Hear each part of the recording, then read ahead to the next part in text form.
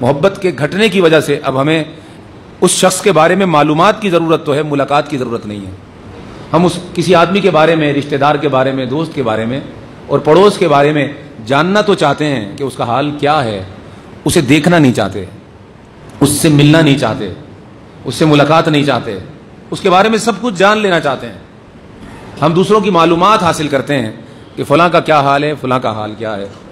وہ ہمارا علم کا ایک گوشہ ہے جو بھوک کی طرح بلک رہا ہوتا ہے کہ جانوں، وہ کیسا وہ کیسا وہ کیسا وہ کیسا۔ لیکن دل میں اس کے لیے چونکہ محبت نہیں ہے، لہٰذا کبھی ہمارے قدم اس کی ملاقات کے لیے نہیں بڑھتے۔ ہم اس کی دید نہیں چاہتے، اس کی زیارت نہیں چاہتے۔ چاہے وہ کتنا ہی قریبی رشتہ کیوں نہ ہو، وہ کیسا ہی ساتھی کیوں نہ رہا ہو کیونکہ محبت ہے جو کسی شے کی طرف لپکاتی ہے۔ محبت کا معنی یہ ہے، دل کا کسی جذبے کے تحت کسی شے کی طرف رغبت رکھنا۔ وہ دل کی رغبت ہوگی تو آدمی ملاقات کرے گا۔ جب رغبت ہی نہیں تو ملاقات کیسی؟ ہاں علم کی وجہ سے ہم چاہتے ہیں کہ اس کے بارے میں معلومات رکھیں۔ تو سوشل میڈیا ہے، میڈیا کے دوسرے ذرائع ہیں۔ اس کے ذریعے ہم معلومات تو جمع کرتے ہیں۔ علم آتا رہتا ہے، مگر حقیقی ملاقات نہیں ہوتی۔ دین کے بارے میں بھی ہم علم حاصل کرتے ہیں۔ دینی محبت نہ ہونے کی وجہ سے بڑھتے نہیں ہیں دین کی طرف۔ اور دین کا کام فقط جاننا نہیں ہے، بلکہ میں کہتا ہوں کہ اگر علم کے اوپر عمل نہ ہو تو یہ ایسا ہی علم ہے جیسے آپ کسی گدے کے اوپر سامان لاد دیں۔ تو علم کو اٹھا لینے سے گدا تو عالم نہیں ہو جاتا۔ علم کو اٹھا لینے سے گدا عالم نہیں ہوتا۔ آپ اپنے وجود کو دیکھیں، اپنے جسم کو دیکھیں۔ ہمارا جسم اگر استعمال ہوتا رہے تو صحیح رہتا ہے۔ اگر یہ استعمال نہ ہو تو بیکار ہو جاتا ہے۔ ساٹھ پرسنٹ سے زیادہ بیماریاں ورزش نہ کرنے یعنی جسم کو صحیح استعمال نہ کرنے کی وجہ سے پیدا ہوتی ہیں۔ اپنا یہ ہاتھ ہے اگر یہ ٹیبل پر آپ آدھے گھنٹے تک ایسے ہی رکھے رہیں اور اس کو حرکت نہ دیں، یہ شل ہو جائے گا، یہ بیمار ہو جائے گا۔ صرف ہاتھ استعمال کرنا چھوڑا آپ نے، بیکار ہو گیا۔ جسم کو استعمال کرنا چھوڑا، بیکار ہو گیا۔ اسی طرح دماغ کو استعمال کرنا چھوڑیں گے، تو دماغ بیکار ہو جائے گا۔ تو وہ علم جس کو آپ نے عمل میں کبھی استعمال ہی نہیں کیا، وہ معلومات جو کبھی ہمارا عمل ہی نہیں بنی، جس پر ہمارا کبھی تجربہ نہیں ہوا، جس کو ہم کبھی استعمال ہی نہیں کرتے، وہ علم بیکار نہیں ہوگا تو کیا ہوگا؟ بلکہ وہ علم جسم کی چربی کی طرح ہے۔ نہ صرف جسم کو بیکار کرے گا، بلکہ جسم کو لاغر، کمزور اور طرح طرح کی بیماریوں کی دعوت دے گا، جیسے چربی۔ اس لیے بزرگ کہتے ہیں، علم و بس کری ہو یار۔ علم سے بس کر جا۔ علم و بس کری ہو یار ہک و الف تیرے درکار۔ ایک الف ہی کافی تھا۔ الحمد ہی کافی ہے۔ تمام تعریفوں کا مالک وہ اللہ ہے۔ اتنا جان لینا ہی کافی تھا، اب تو کرنے سے معلوم ہوگا۔ آگے تو بڑھ۔ لیکن وہ آگے بڑھانے والی شے میری باتیں نہیں ہیں۔ نہ تمہاری سماعت ہیں۔ آگے بڑھانے والی شے تو محبت ہے۔ دل کے اندر محبت کا جذبہ بیدار ہونا۔ اس جذبہ محبت کے تحت کوئی آدمی بڑھتا ہے اس کی طرف۔ اور اس کے لیے بھی اس کی مہربانی اور توفیق شرط ہے کہ اگر نہ ہو تو کچھ بھی نہیں کر سکتا آدمی۔ اور یہ ہے وہ ایمان کا درجہ۔ یہ ہے وہ صحیح علم کہ انسان اس بات پر یقین کرے کہ میرا مثبت عمل محض اس کی توفیق و عنایت سے ہے۔ ورنہ ہماری کیا اوقات اس کی بارگاہ اس بات پر ایمان لائے گا تو محبت ابھرے گی۔ محبت ابھرے گی تو اس کی طرف قدم بڑھیں گے۔ مجھے حکایت یاد آ رہی ہے، حضرت ابراہیم ابن حدم، ابراہیم ابن ادم رضی اللہ تعالیٰ عنہ رحمۃ اللہ علیہ کی۔ وہ بادشاہ کی اولاد تھے۔ کوئی نعمت ایسی نہیں تھی جو ان کے یہاں میسر نہ ہو۔ دولت ہے، عیش و عشرت ہے، آرام ہے۔ اچھے اچھے لباس، کھانے پینے اور شکار۔ اس میں ان کی زندگی صرف ہوتی تھی۔ لیکن جذبہ محبت بیدار تھا جس کی وجہ سے اندر ایک خلا سا محسوس کرتے تھے۔ طبیعت ان کی پوری طرح مطمئن نہیں تھی، اندر سے ایک خلا تھا۔ اور یہ معلوم بھی نہیں تھا کہ وہ خلا کیا ہے۔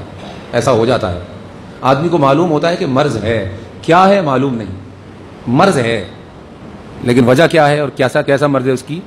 علت اور سبب معلوم نہیں ہوتا۔ تو ایک خلا ان کو محسوس ہوتا تھا اندر۔ لیکن وہ خلا کیا تھا، وہ ان کی سمجھ میں نہیں آتا تھا۔ تو ایک رات وہ اسی فکر کے اندر کے کیا کروں کیا کروں کیا کروں؟ کیا کرنا چاہیے مجھے اندر کے اس محرومی کے احساس سے نکلنے کے لیے؟ سوچ رہے تھے اپنے بستر پر لیٹے تھے، چھت کے اوپر شور سنائی دیا۔ جب چھت پر شور سنائی دیا، طلب سچی ہو تو آوازیں بھی عجیب عجیب آتی ہیں۔ اور یار بھی طریقے طریقے سے مہربانی کرتا ہے۔ چھت پر شور سنائی دیا تو لپک کر متوجہ ہوئے اور کہا، کون ہے؟ تو ایک بہت بڑا لہیم شہیم آدمی ان کے سامنے آیا۔ اور اگر کہتا فلاں گاؤں سے ہمارا تعلق ہے، ہماری گائے گم گئی، آپ کی چھت پہ ڈھونڈ رہے ہیں۔ گائے ہماری گم ہو گئی ہے تو آپ کی چھت پہ اسی کو ڈھونڈ رہے ہیں۔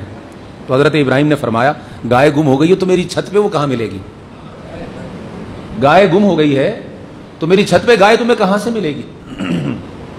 وہ آدمی مسکرا کر دیکھنے لگا اور کہتا ابراہیم، بڑی عقل والی باتیں کرتے ہیں آپ۔ بڑے معقول آدمی ہیں آپ، عقل والی باتیں کرتے ہیں۔ صحیح فرمایا آپ نے کہ گم شدہ گائے چھت پر نہیں مل سکتی، یہ بتائیے، آپ کا گم شدہ رب آپ کو اس بستر پہ ملے گا؟ محل پہ ملے گا؟ اس ایش و عشرت اور آرام میں ملے گا؟ جس طرح گم شدہ گائے چھت پر نہیں مل سکتی، اسی طرح گم شدہ اس رب کی محبت کا خزانہ اس طرح ایش و عشرت اور آرام میں بھی نہیں مل سکتا۔ یہ کہا اور چلا گیا۔ لیکن چونکہ اندر محبت تھی، سیدھا نشانے پہ لگاتی ہے۔ نشانے پر لگا اور ابراہیم ابن ادم نے محل چھوڑا۔ تخت چھوڑا، تاج چھوڑا اور سب کچھ چھوڑ کر اس کی محبت کی رائے اختیار کر لی۔ اب بیٹھے ہیں دریا کے کنارے اور پاؤں ننگے ہیں اور بالکل خستہ حال ہیں۔ تو ایک آدمی گزرا بغداد کا، جو آپ کو جانتا تھا۔ پہلے اس نے سلام کیا اور کہا، السلام علیکم یا فقیر اللہ. جب قریب آیا تو دیکھا اس نے تو ابراہیم ابن ادم شہزادے ہیں۔ اس نے کہا اچھا حضرت، میں پہچان گیا آپ کو۔ آپ نے فرمایا، میں کوشش کر رہا ہوں پہچاننے کی۔ اللہ کرے پہچان جاؤں۔ میں پہچان گیا آپ شہزادے ہیں۔ یہ کیا حالت بنا رکھی ہے آپ نے؟ یہ کیا حال بنا رکھا ہے؟ انہوں نے فرمایا کہ تم اپنی کہو۔ تم اپنی کہو۔ حال کبھی بنایا جا سکتا ہے؟ حال تو بنا بنایا ملتا ہے۔ خیر، تم اپنی کہو۔ اس نے کہا، حضرت، آپ بتائیے، وہ تخت اچھا تھا یا یہ صحرا اچھا ہے؟ وہ تخت اچھا تھا یا صحرا اچھا ہے اور یہ دریا کا کنارہ اچھا ہے؟ آپ خاموش ہو گئے۔ اس نے کہا مجھے جواب دیجیے۔ جواب عنایت فرمائے۔ وہ تخت اچھا تھا اور وہ طاقت اچھی تھی، وہ مملکت اچھی تھی، وہ تصرف اور قدرت اچھا تھا اور یہ بے آسرا پن، لاغر پن، کمزوری، محتاجی اور یہ کمزور سی زندگی، یہ اچھی ہے۔ اتنے میں آپ نے ایک سوئی یا ایک موتی جو آپ کے ہاتھ میں تھا، تسبیح کا دانا وہ آپ نے دریا میں پھینکا۔ آپ نے کہا یہ جواب دے گا۔ تھوڑی دیر بعد آپ نے دریا کی مچھلیوں سے کہا کہ ہمیں وہ دانا واپس چاہیے۔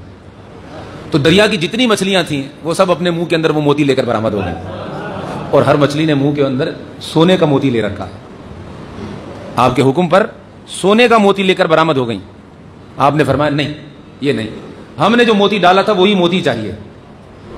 ساری مچھلیاں نیچے چلی گئی ایک رہ گئی اس نے آ کر وہ موتی آپ کے قدموں میں رکھ کر وہ واپس چلی گئی۔ اب وہ موتی اٹھا کر آپ نے اس فقیر کو دیکھا اور کہا، وہ تخت اچھا ہے یا کنارہ اچھا ہے؟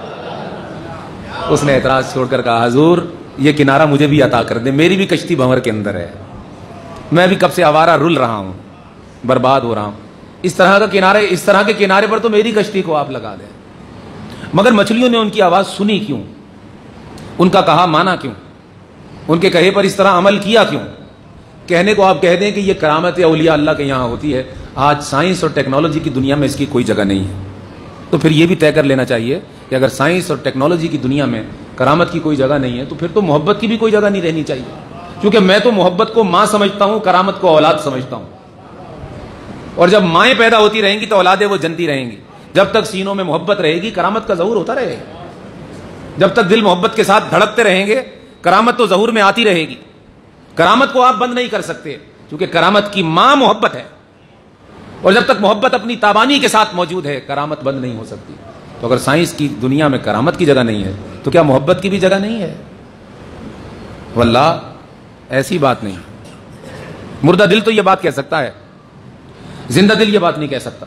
وہ کہے گا، یہ سائنس تو سایہ ہے، جو باہر نظر آتا ہے۔ حقیقی سائنس تو محبت ہے، جس کی وجہ سے سائنس نے جنم لیا ہے۔ سائنس کہتے ہیں جاننا۔ کائنات کو جاننا اور کائنات کے رازوں سے پردہ اٹھانا۔